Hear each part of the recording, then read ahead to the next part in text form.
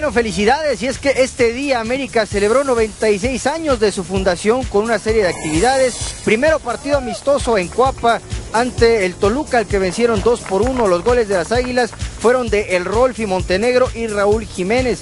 Elvin Trejo descontó por el equipo de los Diablos Rojos, pero después hubo una comida para los trabajadores del club junto a directiva, cuerpo técnico de todas las divisiones. Un abrazo, felicidades a toda la gente del América. Creo que el rumbo está muy claro, la meta es el título lo más pronto posible y festejar los 100 años, no solamente con uno, sino con dos o hasta tres títulos. Estamos muy contentos, esta gran familia conformada por la afición, los jugadores, cuerpo técnico y todas las personas que tenemos el gusto y el orgullo de trabajar aquí.